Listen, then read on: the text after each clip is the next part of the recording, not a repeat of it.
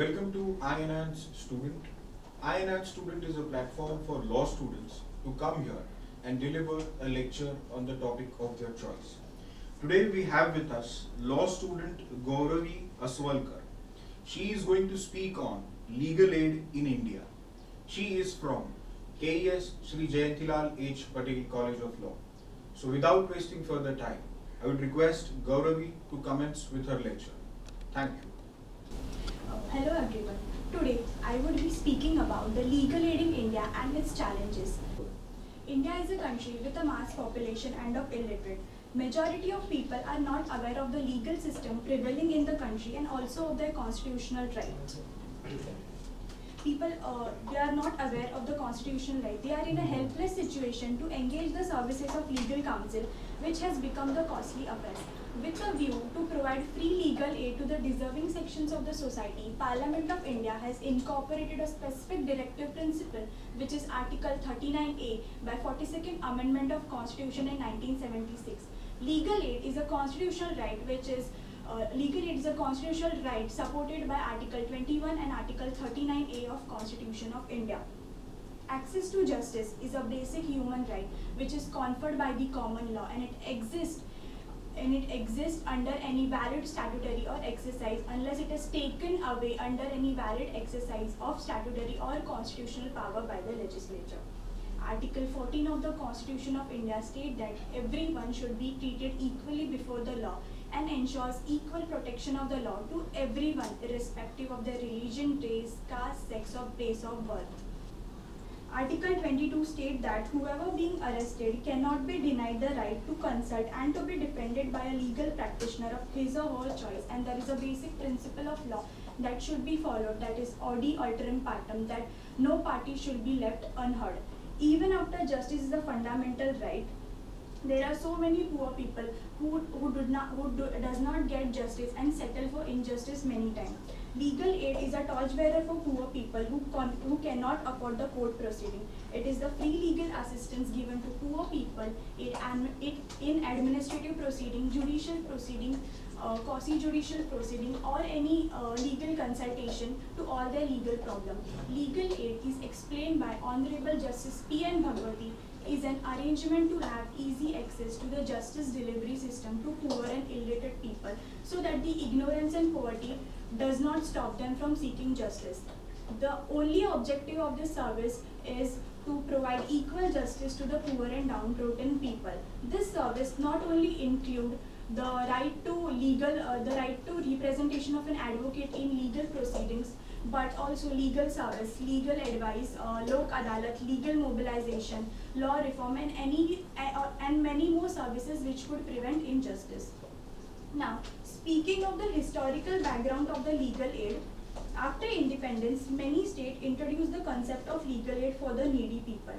In the year 1958, the 14th Law Commission report emphasized the procedure to equal justice and free legal aid to the poor. Kerala was the first state to introduce a policy on a legal aid, that is Kerala legal aid to the poor. Similarly, Tamil Nadu and Maharashtra also introduced similar schemes to poor justice to uh, backward people. In the year 1971, Honorable Justice P. N. Bhagwati was the chairman of a committee that was formed to emphasize the role of judges in providing equal justice to all and working of the different committees of legal aid that were Taluka Legal Aid Committee, District Legal Aid Committee and State Legal Aid Committee. In the year 1973, a report was published on processual justice to poor by an expert committee of legal aid, which is headed by Honorable Justice V. R. Krishna Iyer. The report emphasized on providing the legal aid to give a statutory basis, emphasis on public interest litigation, and to set up legal aid camps in law schools. In the year 1976, keeping in mind for providing free legal aid in India, it was made a statutory right by the 42nd Constitutional Amendment by inserting Article 39A under the directive principles of state policy. In the year 1980, the Committee for Implementation of Legal Aid Scheme, which is popularly known as CILAS, under the under the chairmanship of Honorable Justice P.N. Bhagwati honored and supervised all the legal aid activities going on in the country and it also introduced the concept of Lok Adalat which were an effective tool to handle the disputes amicably.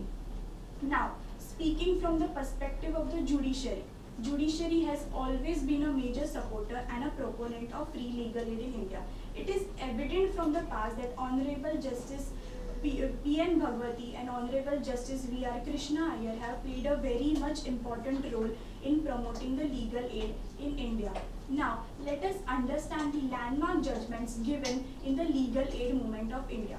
First, in the case of Hussainara Khatoon versus State of Bihar, this case exposed the poor conditions of the justice delivery system in the state of Bihar.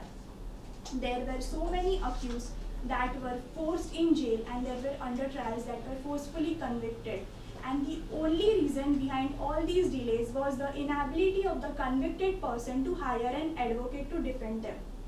Therefore, in this case, Honorable Justice P.N. Bhagwati held that it is an essential right of the person who is arrested to have reasonable, fair and just procedure for a person who is an accused which is guaranteed by Article 21 and implicit in Article 39A of Constitution of India.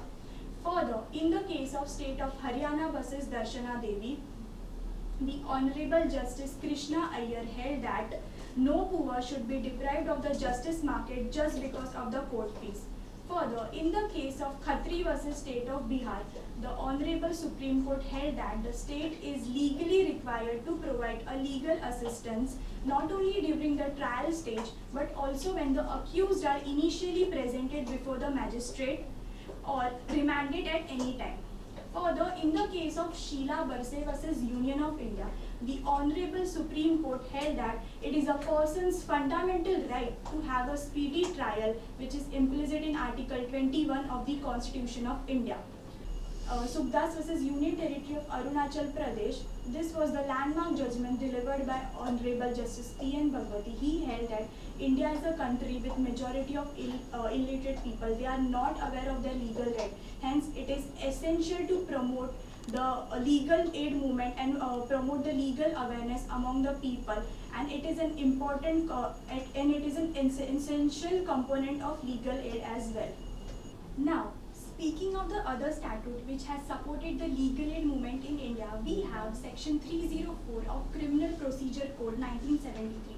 This section states that when in a trial before a court of session, the accused is not able to engage a pleader or advocate to defend and if the court feel that accused is not in a condition to engage a pleader then it is the duty of the court to assign a pleader or advocate for a defense of accused and the expenses will be borne out by a state.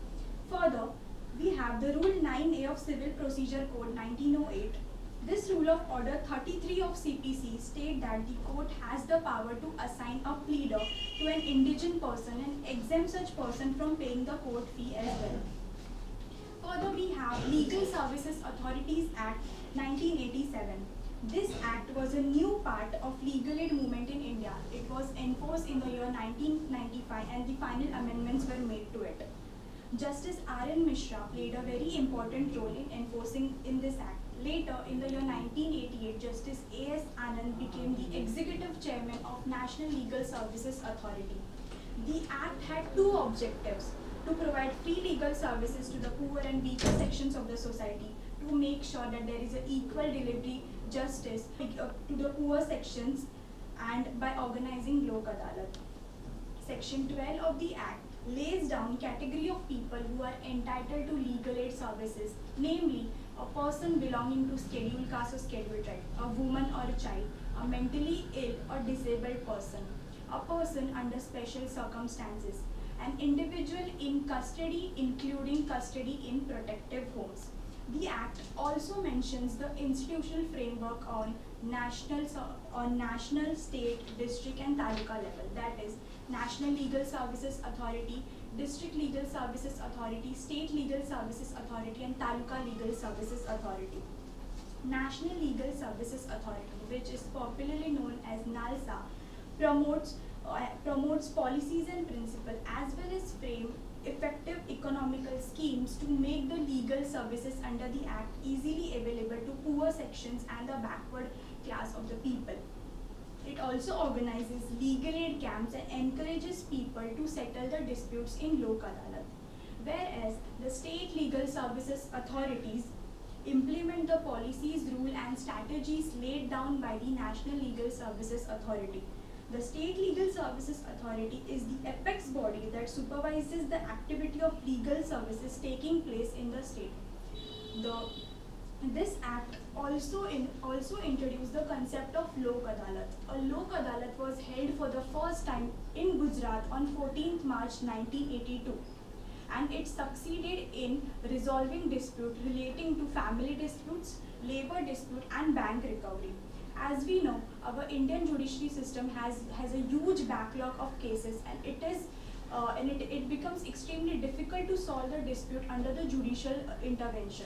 Lok Adalat was thus seen as an alternative dispute, dispute resolution mechanism to solve the dispute in a friendly and in a very efficient manner. Now, even after so much of statutory provisions, committees and authority, there is still a vacuum which needs to be filled. Even today, many people suffer injustice because of the inability to afford an advocate.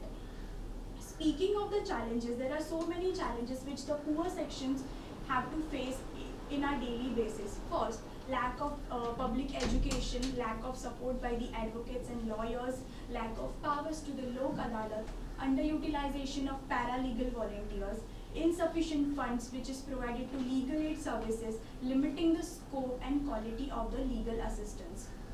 Fifth, many people, specifically from marginalized communities, seek to hesitate the legal aid help due to social stigma attached to the attached to the legal proceeding.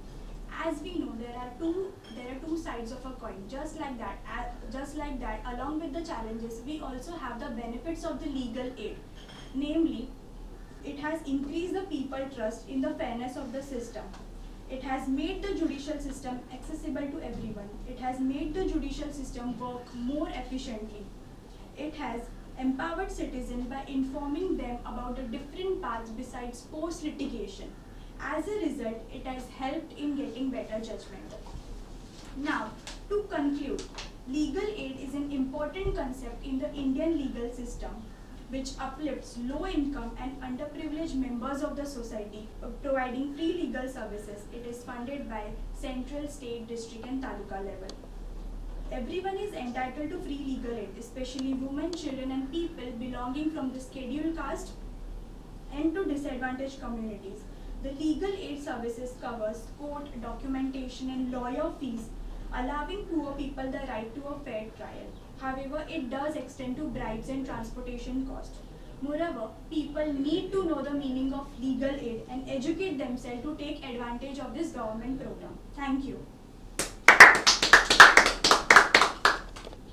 Gauravi, thank you very much. It was nice to hear the overall development of the legal aid because you started way back prior to the independence, then independence, and then coming till date, and the various judgments which you have cited. I think that will really help people. The people will not hesitate to come and take legal aid to avoid that stigma. So thank you very much. This is a small token from Hammurabi to you.